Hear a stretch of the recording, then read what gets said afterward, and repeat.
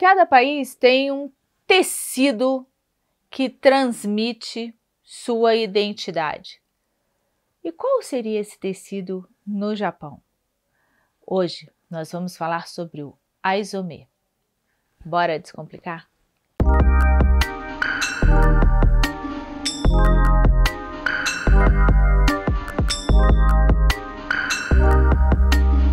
Peraí, antes de eu começar o vídeo, eu preciso que você faça uma coisa para mim.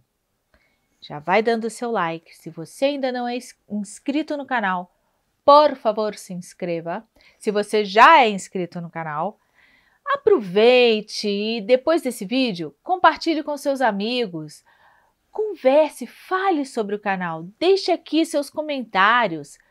Sabe, é bom ter esse contato com vocês. E por falar em contato, acompanhe o Descomplicando a Moda Oficial no Instagram. Me acompanhe no Instagram também, TT Laudares.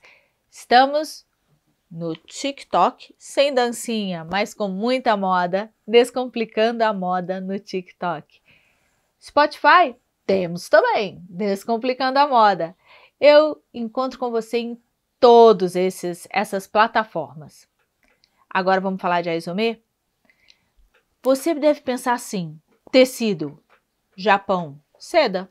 Sim, claro, a seda é um tecido reconhecido que a gente já sabe, mas eu pesquisei e descobri esse tecido sensacional, que para eles é tipo óbvio, mas para gente é algo que me despertou curiosidade sobre a cultura oriental, um tecido feito à mão, em teares manuais, que nada mais é do que o denim japonês.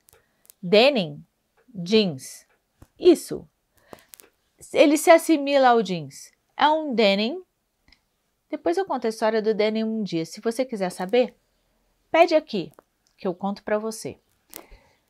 Um denim japonês, mas qual a grande vantagem? Como assim? Aizome. Assim. Há muito tempo atrás, os tecidos eram feitos manualmente em teares. Ainda são, até hoje, no caso do aizome. No caso de algumas outras outros tecidos em outros países também.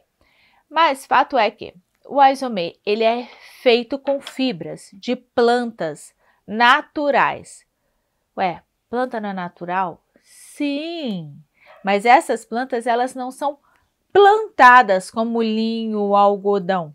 Eles escolhiam essas plantas, colhiam, faziam as fibras e então produziam um tingimento natural para chegar no tom de azul.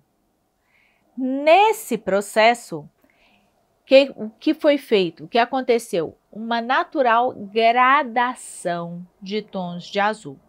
Então, o isomê ele vai desde um tom de azul como esse, quase um branco, até um azul profundo, um tom de azul profundo. O tom de azul mais próximo do branco vai se chamar Aigiro.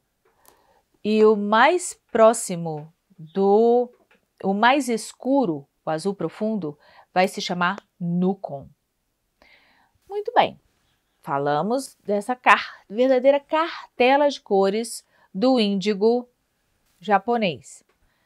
Outra característica fundamental do Aizome vai ser o fato de que é um tecido antibacteriano e inseto repelente, o que fez com que fosse exatamente esse tecido o tecido ideal que os samurais usavam para fazer o kimono interno de suas uh, couras, armaduras.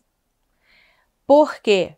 Porque ali eles já estavam protegidos, recebendo uma proteção, uma camada de proteção antibacteriana e inseto repelente.